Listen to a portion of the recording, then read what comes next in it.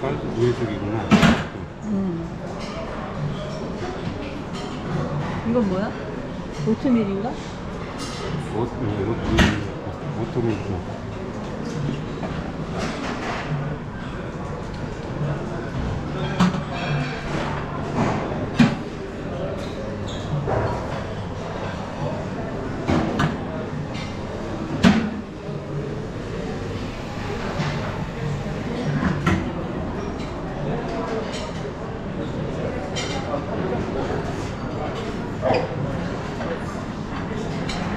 그거 뭐냐?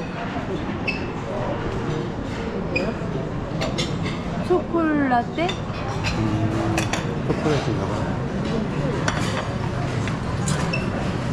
뒤에 사.